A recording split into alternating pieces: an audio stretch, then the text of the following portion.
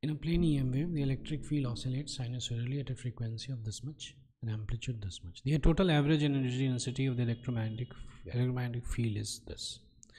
So if you see here it is what is mentioned is the electric field energy density is half epsilon naught E square.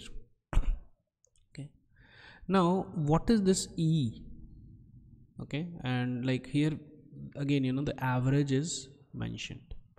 So therefore you know average is going to be like uh, like for example we have E is equal to E naught the sine of you know something. Okay. So this E naught is the peak electric field. Okay.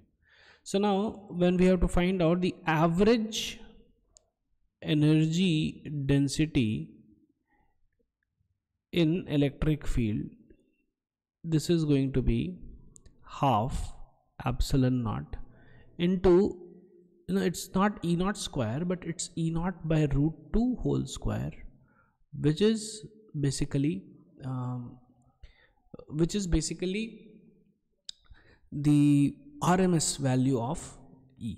So therefore it's actually epsilon naught E naught square by 4 okay? So this is the average density in uh, electric field. Okay uh, since the electric field is not uniform in the case of electromagnetic wave you can see here it is you know the sinusoidal function so therefore it's not uniform. Now we have to find out the total average density okay? Uh, and uh, uh so the total average density is going to be ub plus ue and all things in average.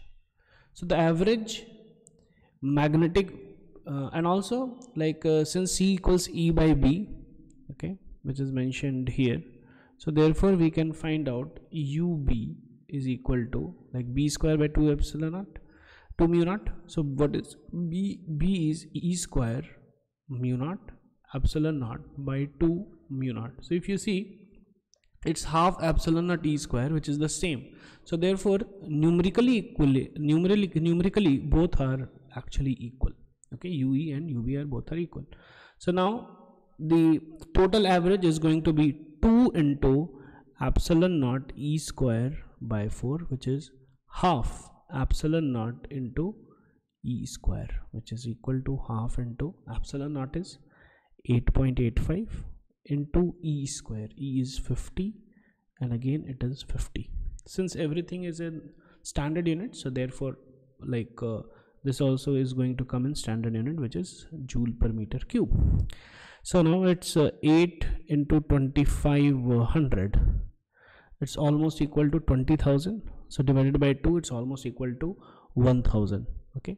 So almost equal to 1000 in uh, so 20 10000 into 10 to the power because 8.85 10 to the power minus 12 is also there into 10 to the power minus 12 so this is going to be around 1 into 10 to the power minus 12 now since this 0.85 is also there so therefore it's going to be a little ahead of it. So therefore a is going to be the answer